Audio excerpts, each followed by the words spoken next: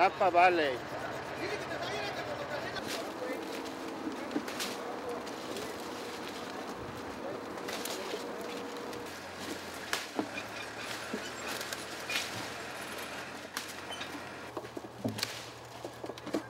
¿La siete?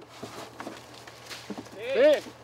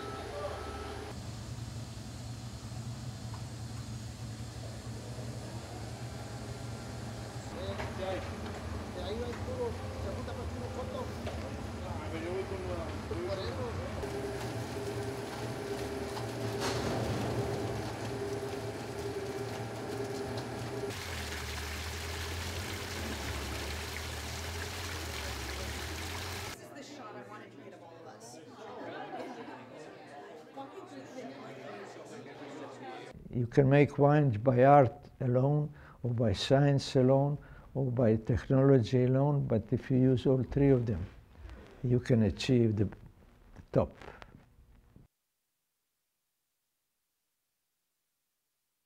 In stores that they don't have a tasting, it's very hard if you didn't taste those wines. It's more luck than anything else. In many cases, the label decide. So label is very important.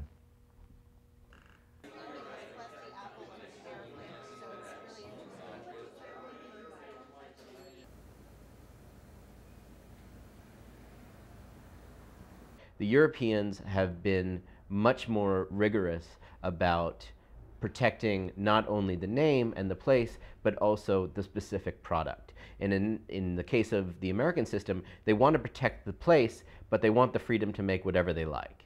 No, just, just, just just, we, we can just talk if you want to just let her. yeah, run. yeah. Let's just, Yeah. let's just solve And I it. can- The next probable fight that's going to come is whether if Napa wants to sign on for EU type protections, does that eventually mean that the name protections, the appellations that are provided in the US aren't going to be strict enough that they're going to start regulating the types of wines that you can make?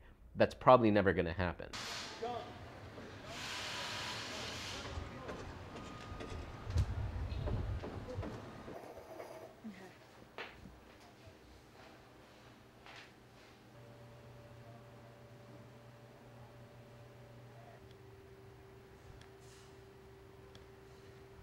The quality of wines from the Napa Valley are extremely high, and in part because the people who are buying land there are very serious about what they're doing.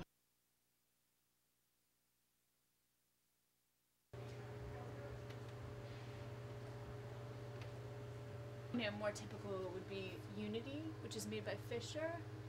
You have 45.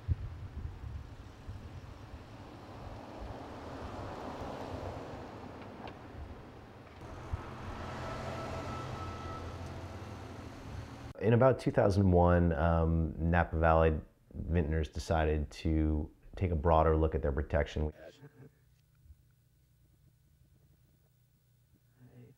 There was no real process in place.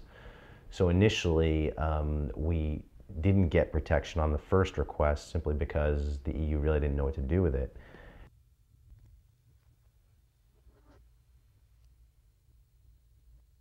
Now it's been done. You can do it too, hopefully for less expense than it was for the vintners, and we can get protection for all the, the regions in the US that are deserving of it.